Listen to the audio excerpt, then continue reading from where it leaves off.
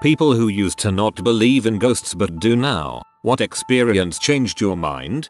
When my son was a baby, he started crying in his crib at about 3am. I sat up, dreading having to nurse him back to sleep for the third time that night. All of a sudden, I hear a soft, sweet, woman's voice over the baby monitor say, SHHH.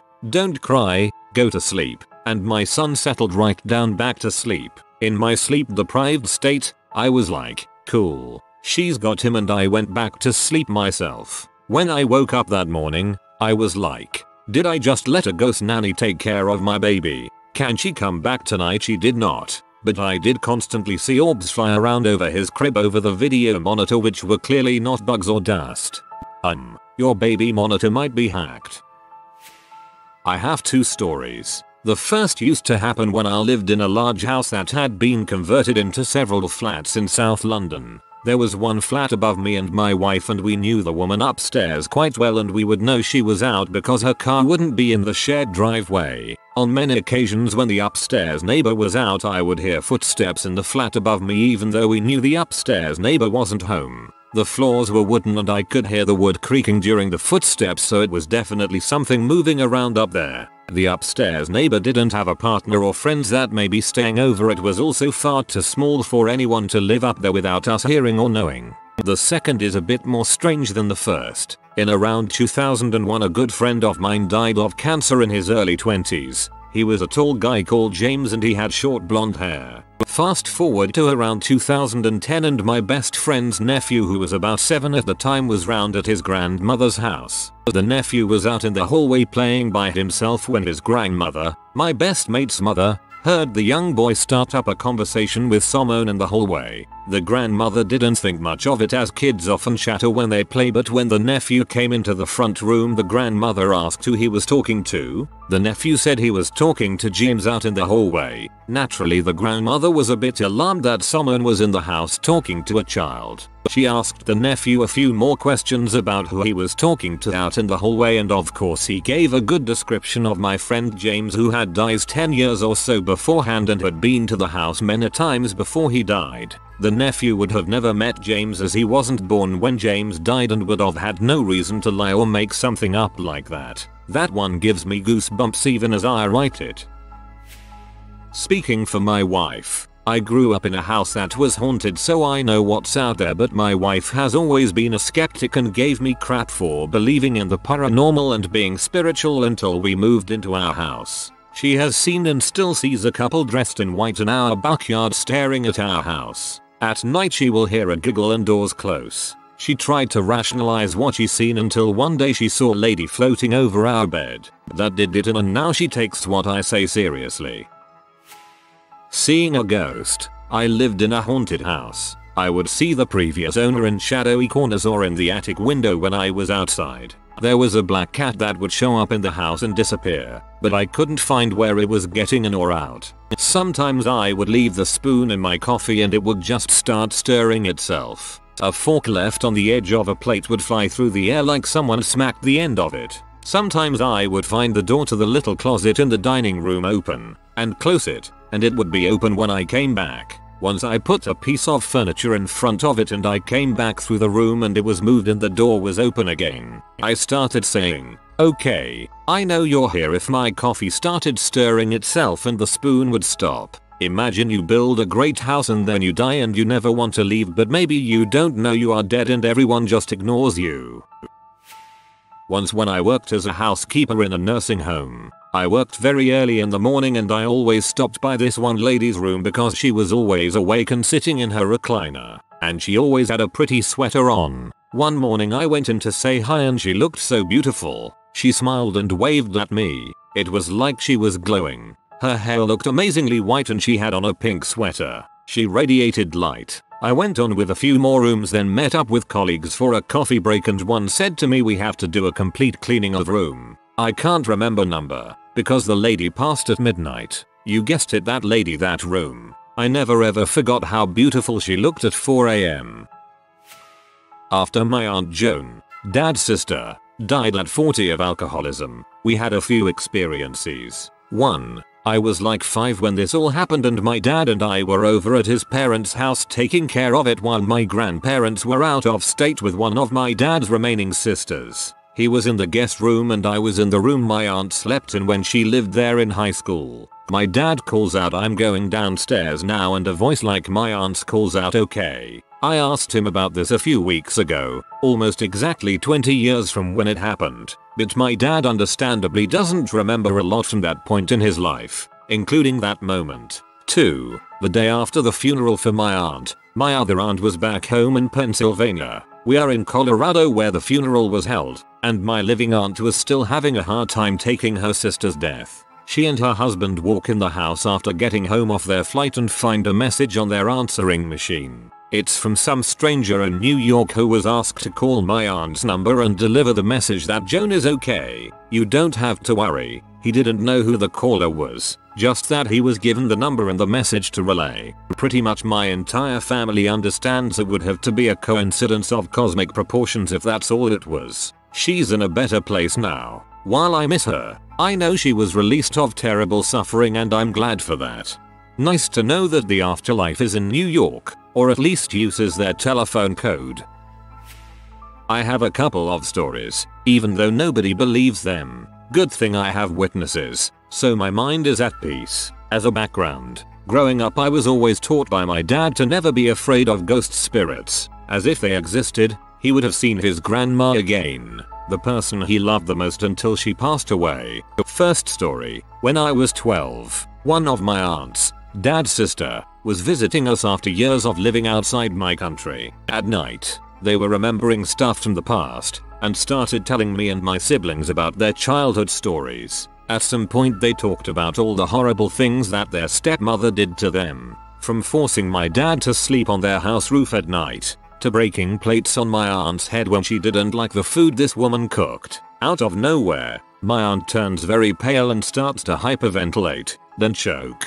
Then in between what we thought was a panic attack, she said something along the lines of, leave, alone, freaking, mouth, and as she passes out, a neighbor from across the street was a doctor, so my dad ran to get her. She checked her, and she said she was good, and looked like she was just sleeping. Out of nowhere, my aunt wakes up and starts crying non-stop. The doctor and my dad tried calming her down, and my mom hushed us out of the living room. While she was crying, I could hear she was telling my dad it was her, it was her. She was screaming at me. She wanted us to leave her alone, to get her name out of our freaking mouths. Years later, as I questioned if this might have been a response to stress caused by reliving those traumas, and not a supernatural occurrence, I talked to my cousins about it, but they were all surprised, as this has never happened before, even though she would always tell them the stories of her stepmother, so my theory was out of the question.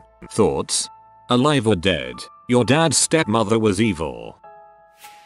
My dad died. After I found out I went home. My parents were separated so my mom and dad each had a house. My mom is disabled and has a two story house. It's very hard for her to go up and down the stairs. My old bedroom was upstairs. I got in the house about 2 in the morning with my husband. We were laying in the bed and my husband instantly fell asleep. I was too upset to sleep. My door was cracked and I saw shadow pass by my door. I thought it was my mom checking to make sure I got home okay. After a few hours of not sleeping I went downstairs to get coffee and my mom was there. I said thanks for checking on me last night. She looked very confused and said I didn't go upstairs at all last night. I'm convinced it was my dad checking on me.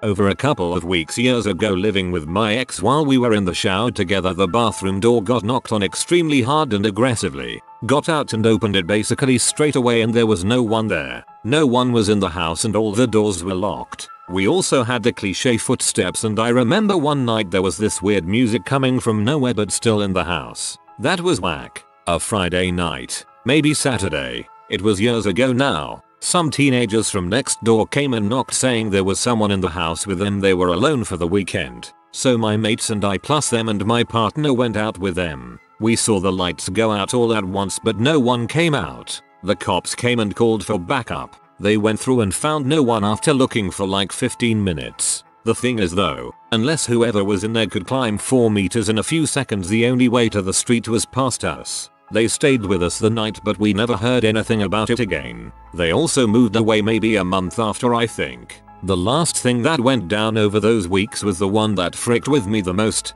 I heard as clear as day my name said right behind me and then footsteps above me while doing some early morning weekend work. I used to work in a very high security facility and for someone else to be in the building they would have to have been let in by me and couldn't be in there before me as the alarms couldn't be deactivated without my fingerprint. I almost crap myself and after talking with my boss on the phone and checking that there really wasn't anyone else there besides me, no cars besides my work car and my private car locked in the grounds with the other work cars. There I bailed and never did Saturday mornings alone. After that, nothing ever happened and nothing before. I still think about those weeks all the time. It was freaking weird and I have no explanation besides fricked if I know. Ghosts.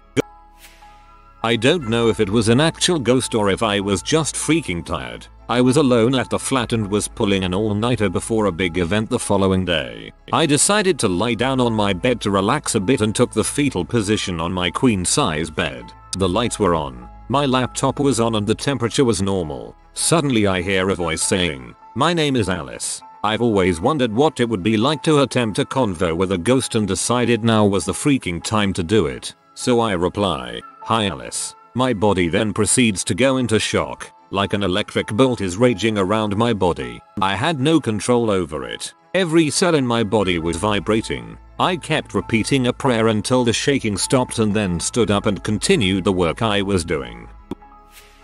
Not me but my dad. He was sitting in his chair in the library facing the dining room. Saw a girl come down the stairs, turn at the landing, and go into the dining room. Thought it was me. Went back to his paper, then saw it again. Called up the stairs. I hadn't moved. We were home alone at the time. We were doing major roof renovations and maybe it was a loosened house memory more so than ghost, but he was a lot less skeptical when we told him something was going on in the house. My wife's mother died only shortly after we got engaged. My wife was the first daughter to get engaged and grandma was very excited. Both of her older brothers were married and had given her 5 grandsons but no granddaughters. Grandma's first response to the engagement was you're going to be the one to give me a granddaughter. We got married months after she passed and had our first child, a daughter. A few years later, we traveled to my wife's hometown to show off the baby as soon as possible but she was about 6 months old by then. We went to see grandma's sister who looked strikingly like grandma. My little 6 month old girl freaked out when she answered the door. She almost jumped out of my wife's arms trying to get to her aunt. She got a second look and went limp and slumped in disappointment when she saw she didn't know this person after all. My wife and I were convinced that my daughter thought she was seeing her grandmother who had apparently been visiting her from beyond or knew her before she was born and that they had a very strong bond without having met in the flesh. This is gonna be buried, but I went to NYC to spend a week with a friend after I graduated. She took off from work but there was an emergency so she got called in and so I stayed at her apartment with her dog. She told me she sometimes had off feelings in the apartment but she had it blessed so whatever. Anyway, me and Doggy are watching Bar Rescue at about 1pm as we wait for her to get back when suddenly the dog makes a low growl and runs to the kitchen. I think hey, maybe she smelled a mouse. So I follow. I see the dog, crouched low and loudly growling at a human shaped shadow figure, maybe 6 feet tall, who is standing back away from her. As the dog moves between me and the thing, I loudly gasp, and the thing's head turns to me and then its arms go up and it steps back in what looks like surprise. I don't think it thought it could be seen. I just managed to stammer out a prayer and tell it that it has to leave and not come back. It backs through the wall and it's gone. Terrifying. Just terrifying. I was always open to the idea, but wasn't convinced. That changed a couple of days after my grandfather died. I was in my room at night, thinking about him, when I suddenly felt as if someone was rustling my hair. There are no vents in the ceiling in my room. My fan wasn't on. It was a very slow, deliberate feeling as if a hand was very slowly running its fingers through my hair. It's more religious but a few years ago my little sister with Down syndrome ran away from our house. Not knowing better, and we couldn't find her for an hour. I ran around for a while and came to a crossroads on the golf course in our neighborhood. I didn't know where to go but I saw a bright flash to my right. It was just a field of grass. There was nothing reflective there, and so I went that way and that's where I found her. I swear it was an angel to this day. I love this. The weirdest thing that happened to me was a story my mom told me a few years ago which brought me from Adam and ghosts don't exist to holy crap maybe they do. A few weeks before I was born, my great grandma died. She was so excited to meet me and hold me since I was to be her only great granddaughter. I've always felt a strong connection to her. Well, when I was 5, my mom was driving me home and completely out of the blue I told my mom mom I really want to take a bath when I get home. Grandma Wilson told me last night that baths are a lot of fun. I didn't disbelieve in spirits or ghosts, but I felt more certain after my great aunt died when I was in college. She died on a different continent and had never visited me in my hometown, which is where I also went to university. I was in the school library waiting for a study partner and looking at a memorial photo of her that my cousin had sent me when I felt this warmth around my neck and back and could smell this perfume my mother wears. It was overpowering. I called my mom to tell her about it and she was shocked because she had never told me my great aunt wore the same perfume. I had met her once in my life and we weren't super close, but she was always sweet to us. My mom and I are both certain my great aunt visited to say goodbye because I was thinking of her that day. Talk to my mother's second cousin after my grandmother's burial. Year or two later find out he had died in 2013. Grandma's funeral was in 2015. The burial was in the same graveyard.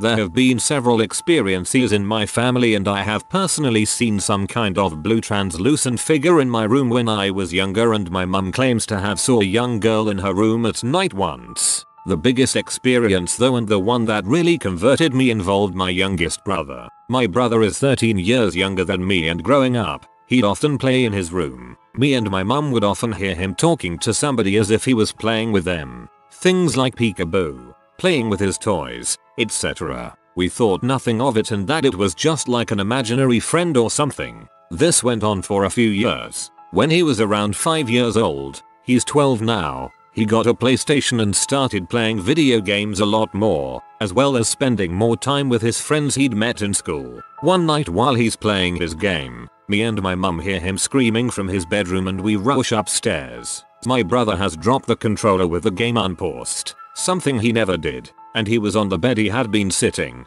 and it was as if he was trying to drag himself away from something at the bottom of the bed. He was screaming get off me, get off me and I don't want to play with you anymore while frantically trying to get away from something. But the creepiness didn't end there because of his legs was in the air awkwardly as if something had a hold of him and was dragging him back down the bed. My mum ran over and grabbed him and carried him downstairs and called my granddad over to basically just reassure us. We haven't had any experiences since that. Like I said he's 12 now and this was 7 years ago. He still remembers it happening but he refuses to talk about it, and if it is mentioned, though we don't make a habit of it of course, he gets very scared and has nightmares at night. It doesn't really matter what else me or my mum have seen, nothing comes close to that experience.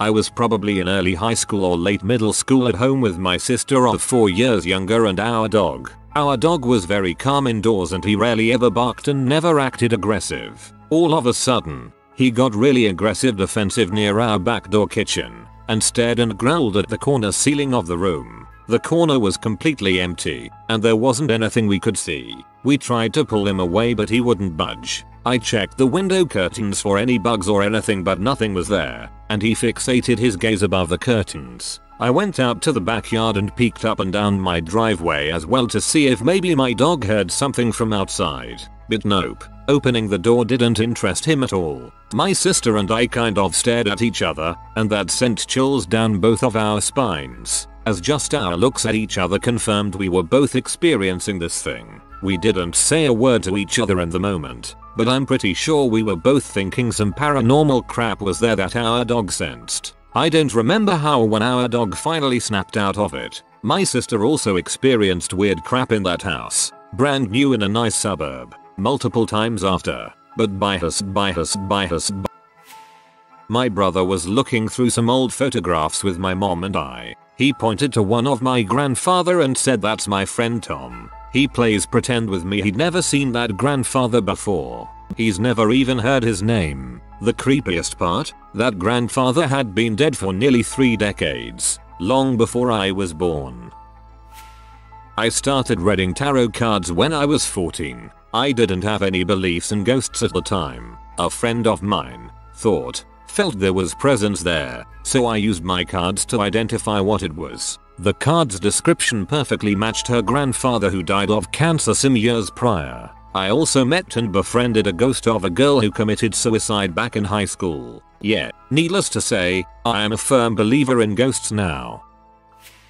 My mom said that my grandfather's ghost visited our house. She said she came downstairs to check on me, a mouthy, rambling toddler at the time, and found dad asleep in his recliner. She went in my room, and after seeing me, came back to wake dad. As she entered the living room, she encountered a thick whirling mass of smoke, watched it lean over dad's head as if to kiss his forehead, then it drifted straight by her into my room. It lingered there for a bit, then vanished. Now, you may not believe, but dad and I do. The next morning, dad was having breakfast when I came into the kitchen saying, Hi Gus. Hi Gus mom says dad went white as a sheet and asked, where the heck did he get that mom had no idea. I was always babbling, but she said he looked so upset she had to ask why. Turns out, grandpa called dad Gus, but only in private. I guess it was kinda their thing, and hearing it hit dad pretty hard. I was born on the 13th of August, 1969.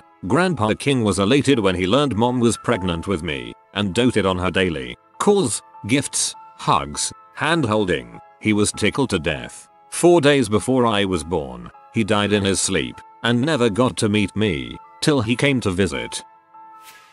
Two of my best friends and my closest cousin passed away, all at separate times. Although I loved these three people, I had never dreamt of any of them. But that was until after they passed. One dream for each of them that consisted of myself and them just talking and hanging out like normal. Those three dreams would be the only time I had ever dreamt of any of them. Each dream was extremely realistic to the point where I thought I was experiencing it firsthand up until I woke. At first I thought it was just me missing them, but after the last dream, I was left with the feeling that these were their final goodbyes.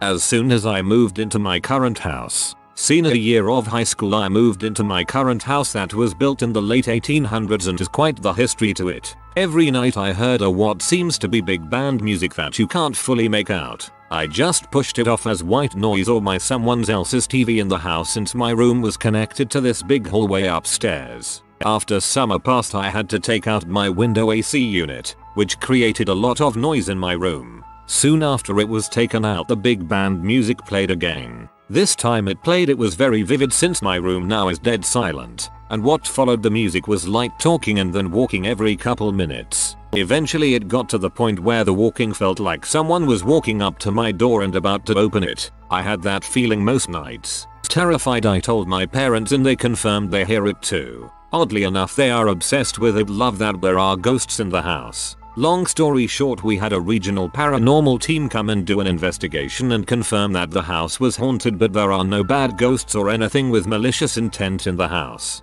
Four years later I have to come back from college every summer and winter break to deal with abnormal mischief at night. After a couple years you kinda get used to it. The way I see it is like you're living with a drunk person. They whisper moan about stuff in the past. They stumble and make noise all the time and they always end up waking you up at night lol. Notable moments. Black silhouette by a doorway of my basement like 2am one night. My dog getting randomly angry and barking at nothing in the hallway when we were home alone one day. He's typically the most mellow dog. I Saw a door close on its own one time. Most terrifying thing.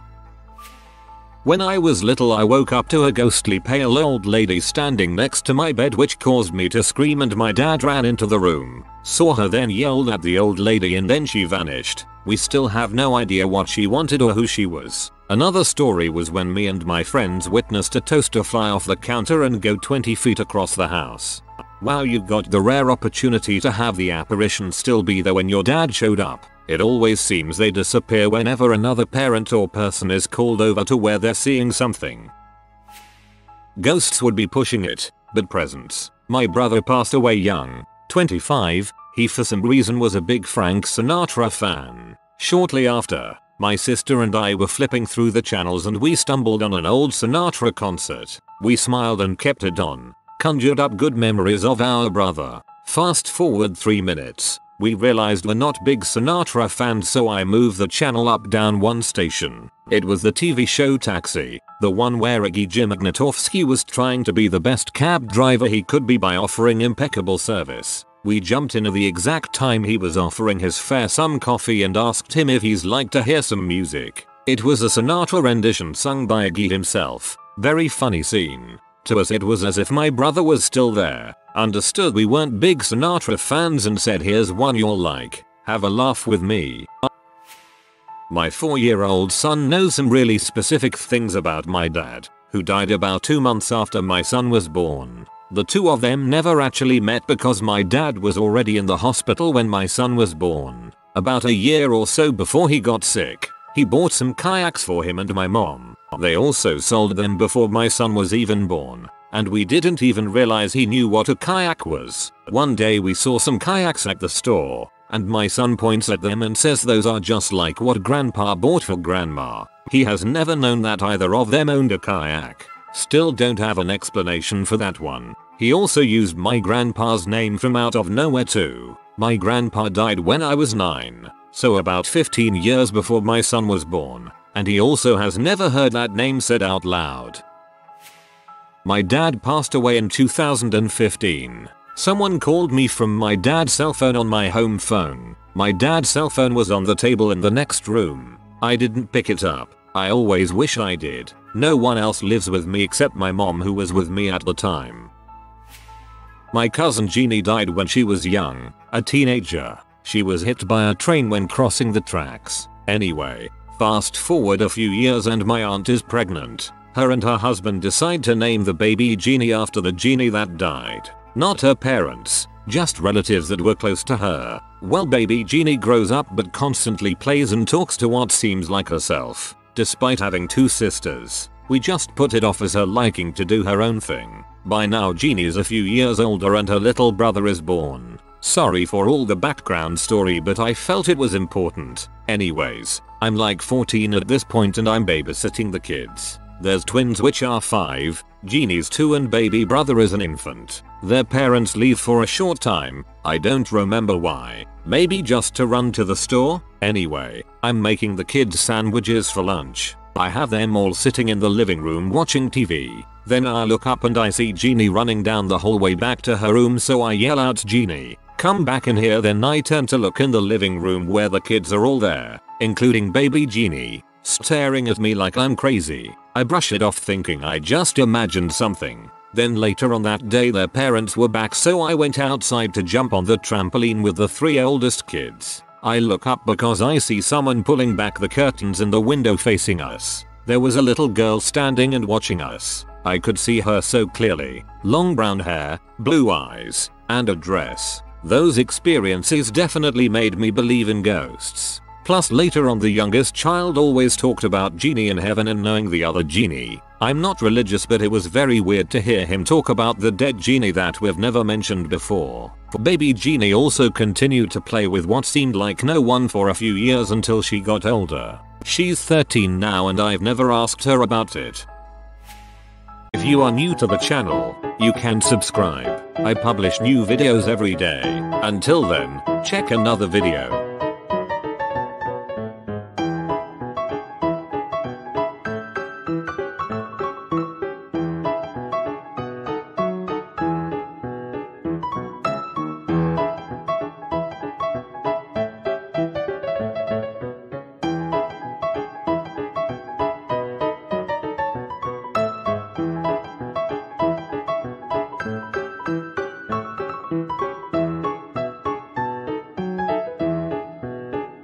Bye for now.